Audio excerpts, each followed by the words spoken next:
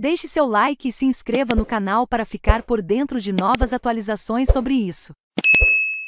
Itatuba recebe a primeira edição do Turismo em Ação neste sábado. Em Itatuba, na região metropolitana de Campina Grande, acontecerá a primeira edição do Turismo em Ação.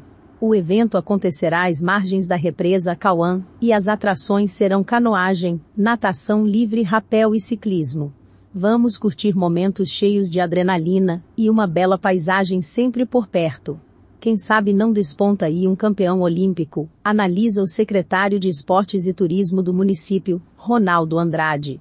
Jornalistas de todo o objetivo é usar a barragem de Acauã como um novo ponto de apresentação para competições e eventos culturais que serão apresentados no futuro. A hegemonia no clássico sertanejo nacional de Patos X Souza é de dinossauro, que não sabe o que é significa perder para o rival há 13 jogos.